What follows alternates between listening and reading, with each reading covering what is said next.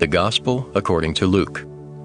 Luke 2. And it came to pass in those days that a decree went out from Caesar Augustus that all the world should be registered. This census first took place while Quirinius was governing Syria. So all went to be registered, every one to his own city. And Joseph also went up from Galilee, out of the city of Nazareth, into Judea, to the city of David, which is called Bethlehem, because he was of the house and lineage of David, to be registered with Mary, his betrothed wife, who was with child.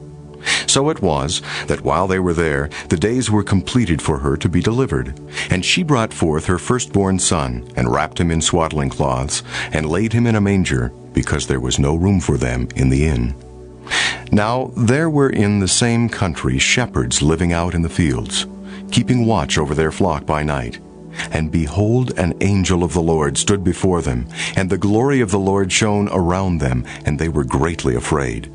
Then the angel said to them, Do not be afraid, for behold, I bring you good tidings of great joy, which will be to all people. For there is born to you this day in the city of David a Savior, who is Christ the Lord. And this will be the sign to you. You will find a babe wrapped in swaddling cloths, lying in a manger. And suddenly there was with the angel a multitude of the heavenly host, praising God and saying, Glory to God in the highest, and on earth peace, goodwill toward men. So it was, when the angels had gone away from them into heaven, that the shepherds said to one another, Let us now go to Bethlehem, and see this thing that has come to pass, which the Lord has made known to us. And they came with haste, and found Mary and Joseph and the babe lying in a manger. Now, when they had seen him, they made widely known the saying which was told them concerning this child.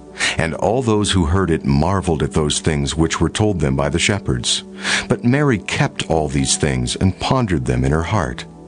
Then the shepherds returned, glorifying and praising God for all the things that they had heard and seen, as it was told them. And when eight days were completed for the circumcision of the child, his name was called Jesus, the name given by the angel before he was conceived in the womb. Now when the days of her purification according to the law of Moses were completed, they brought him to Jerusalem to present him to the Lord. As it is written in the law of the Lord, every male who opens the womb shall be called holy to the Lord, and to offer a sacrifice according to what is said in the law of the Lord, a pair of turtle doves were two young pigeons. And behold, there was a man in Jerusalem whose name was Simeon, and this man was just and devout, waiting for the consolation of Israel. And the Holy Spirit was upon him. And it had been revealed to him by the Holy Spirit that he would not see death before he had seen the Lord's Christ. So he came by the Spirit into the temple. And when the parents brought in the child Jesus to do for him according to the custom of the law, he took him up in his arms and blessed God and said, Lord, now you are letting your servant depart in peace, according to your word. For my eyes have seen your salvation, which you have prepared before the face of all peoples, a light to bring revelation to the Gentiles, and the glory of your people, Israel. And Joseph and his mother marveled at those things which were spoken of him. Then Simeon blessed them, and said to Mary his mother, Behold, this child is destined for the fall and rising of many in Israel, and for a sign which will be spoken against. Yes, a sword will pierce through your own soul also, that the thoughts of many hearts may be revealed. Now there was one Anna, a prophetess, the daughter of Phanuel of the tribe of Asher. She was of a great age, and had lived with a husband seven years from her virginity. And this woman was a widow of about 84 years, who did not depart from the temple, but served God with fastings and prayers night and day. And coming in that instant, she gave thanks to the Lord, and spoke of him to all those who look for redemption in Jerusalem. So when they had performed all things according to the law of the Lord, they returned to Galilee, to their own city, Nazareth. And the child grew and became strong in spirit, filled with wisdom, and the grace of God was upon him. His parents went to Jerusalem every year at the feast of the Passover.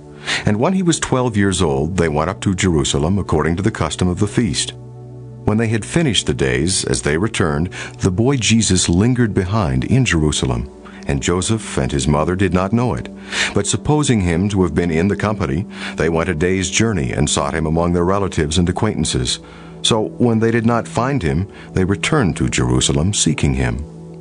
Now, so it was that after three days they found him in the temple, sitting in the midst of the teachers, both listening to them and asking them questions. And all who heard him were astonished at his understanding and answers. So when they saw him, they were amazed. And his mother said to him, Son, why have you done this to us? Look, your father and I have sought you anxiously. And he said to them, Why is it that you sought me? Did you not know that I must be about my father's business? But they did not understand the statement which he spoke to them. Then he went down with them and came to Nazareth and was subject to them. But his mother kept all these things in her heart. And Jesus increased in wisdom and stature and in favor with God and men.